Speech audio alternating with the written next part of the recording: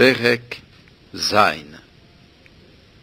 ויהי בימי אחז בן יותם בן עוזיהו מלך יהודה, עלה רצין מלך ארם ופקח בן רמליהו מלך ישראל ירושלים למלחמה עליה ולא יכול להילחם עליה.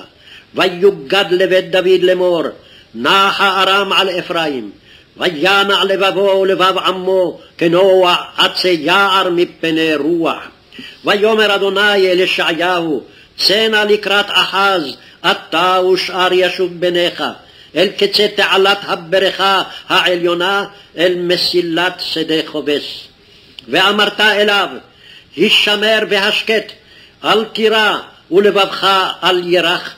משני זנבות האודים העשנים האלה בוחר יעף רצין וארם ובן רמליהו יען כי יעץ עליך ארם רעה אפרים ובן רמליהו לאמור נעלה ויהודה ונקיצנה ונבקיענה אלינו ונמליך מלך בתוכה את בן תבאל.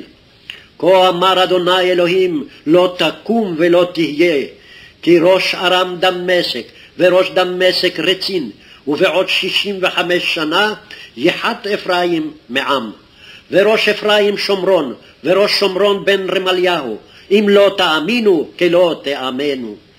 ויוסף אדוני דבר אל אחז לאמור, שאל לך אות מעם אדוני אלוהיך, העמק שאלה או הגביה למעלה.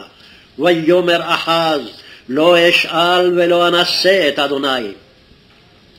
ויאמר, שמעונה בית דוד, המעט מכם הלאות אנשים כי תלאו גם את אלוהי?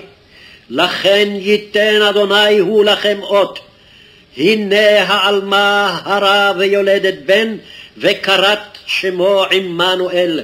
חמאה ודבש יאכל, לדעתו מאוס ברע ובחור בטוב. כי בטרם ידע הנער מאוס ברע ובחור בטוב, תעזב האדמה אשר אתה קץ מפני שני מלכיה. יביא אדוני עליך ועל עמך ועל בית אביך ימים אשר לא באו למיום סור אפרים מעל יהודה את מלך אשור. והיה ביום ההוא ישרוק אדוני לזבוב אשר בקצה יאורי מצרים ולדבורה אשר בארץ אשור. ובאו ונחו כולם בנחלי הבתות ובנקיקי הסלעים ובכל הנעצוצים ובכל הנהלולים.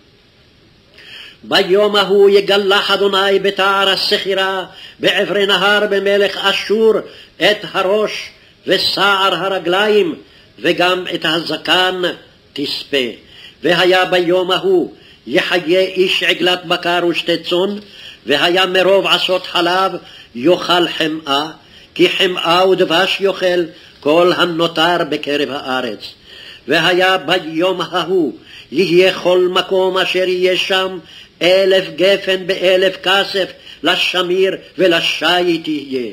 בחיצים ובקשת יבוא שמה, כי שמיר ושייט תהיה כל הארץ.